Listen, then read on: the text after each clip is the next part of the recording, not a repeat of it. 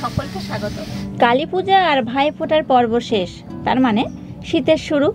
আর এই ঠান্ডার মরশুমে আজকের আমি হাজির হয়েছি গরমা গরম স্পেশাল আদা দুধ চা রেসিপি নিয়ে।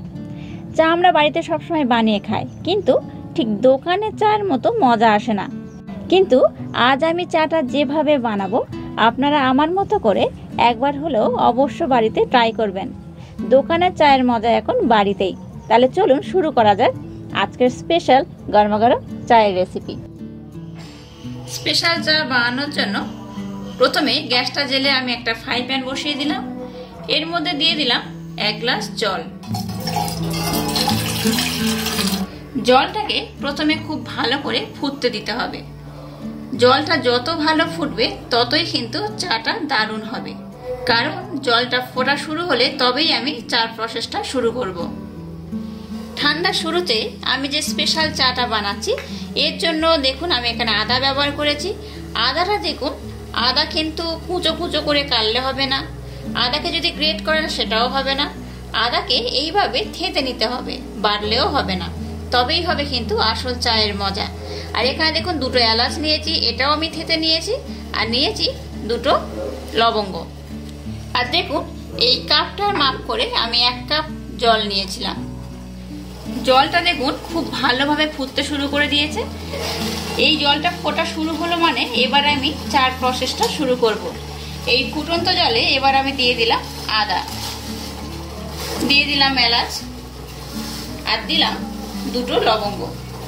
ঘড়ি দেখে এই জলটাকে দুই থেকে তিন মিনিট ধরে খুব ভালো করে প্রথমে ফোটাতে হবে। এটা যতটা ফোটাবেন, তত কিন্তু চায়ের টেস্ট হবে অসাধারণ। দেখুন আদা, লবঙ্গ এলাচ দেওয়ার পর যে জলটা আমি দিয়েছিলাম, জলের কালারটা দেখুন অনেকটা চেঞ্জ হয়ে গেছে। দারুণ একটা কালার এসছে। এইভাবে আমি দু মিনিট ধরে ভালো করে ফুটিয়ে নিয়েছি। এবারে এই ফুটন্ত জলের মধ্যে আমি দিয়ে দেব এক চামচ চা। আপনারা যে কোনো চা ব্যবহার করতে পারেন। যে কোনো চা পাতা আপনারা ব্যবহার করতে পারেন। আমি এখানে দিয়ে দিলাম এক চামচ চা পাতা। চাটা দিয়ে গ্যাসের ফ্লেমটাকে লো টু মিডিয়াম রেখে আবারও দু মিনিটের জন্য ভালো করে আমি ফুটিয়ে নেব। দেখুন কন্টিনিউ কিন্তু একটা হাতা দিয়ে এইভাবে নাড়তে থাকবেন, তবে কিন্তু চার টেস্ট হবে অসাধারণ। আমরা সবসময় বাড়িতে চা খাই, কিন্তু সেই চা খেয়ে ঠিক মন ভরে না, সবসময় চেষ্টা করি ধাবার দিকে গিয়ে এক কাপ চা খাওয়ার। আমি আজকের এই ধাবা স্টাইলে বাড়িতেই চাটা বানাচ্ছি। এই চাটা খাওয়ার পর দেখবেন আপনাদের আর দোকানে গিয়ে চা খেতেই ইচ্ছা করবে না।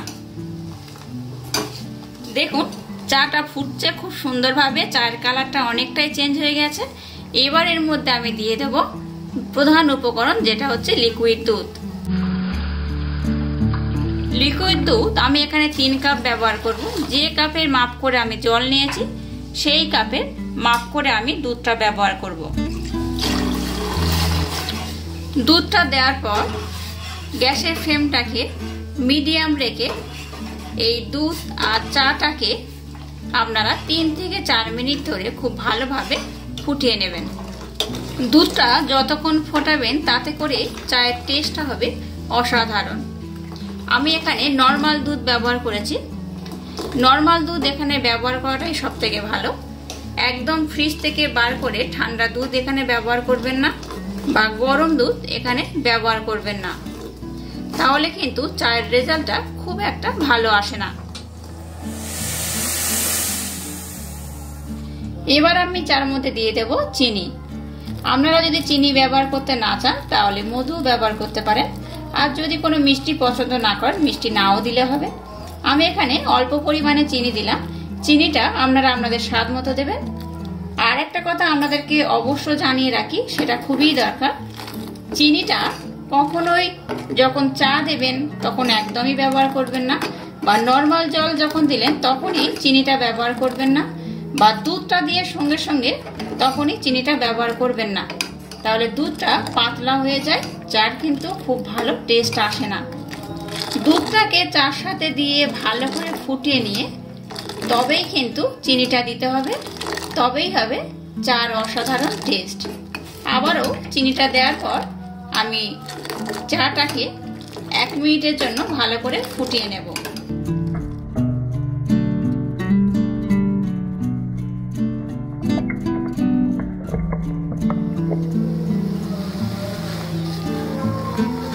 চাটা দেখুন খুব সুন্দরভাবে ফুটতে শুরু করে দিয়েছে। আর এখন তো ঠান্ডা ঠান্ডা ভাব চলে এসছে। ঠান্ডার সময় অবশ্যই চার সাথে একটু গোলমরিচ ব্যবহার করবেন। আর গরমের সময় যদি চাটা বানিয়ে খান, তাহলে অবশ্যই একটু মৌরি দিয়ে দেবেন। আর দেখুন, আমি সামান্য পরিমাণে গোলমরিচ দিয়ে দিলাম। এই গোলমরিচটা দিয়ে আবারও এটাকে একটু ভালো করে নাড়াচাড়া করে নিতে হবে। চার কালারটা দেখেছেন? কত সুন্দর এসছে। অসম্ভব সুন্দর কালার এসছে। দেখুন, চাটা আমাদের একদম রেডি হয়ে গেছে।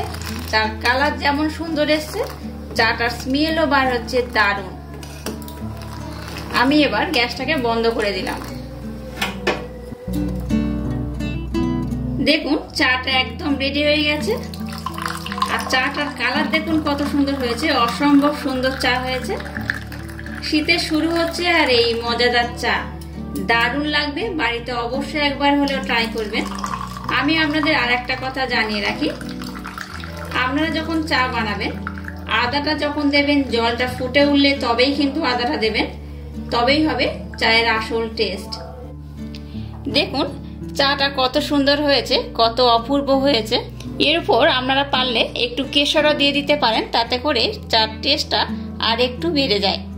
আর ঠান্ডা শুরু হয়ে গেছে, এই মৌসুমে অবশ্য বাড়িতে আপনারা এইভাবে একবার হলেও চাটা ট্রাই করবেন। আশা করছি আপনাদের খুব ভালো লাগবে। আর আমার এই চা রেসিপিটা যদি আপনাদের ভালো লেগে থাকে, তাহলে অবশ্য আমার এই চ্যানেলটাকে লাইক শেয়ার কমেন্ট এবং সাবস্ক্রাইব করবেন।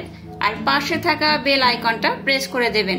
তাহলে টাটা, আবার দেখা হচ্ছে নতুন কোনো রেসিপি নিয়ে।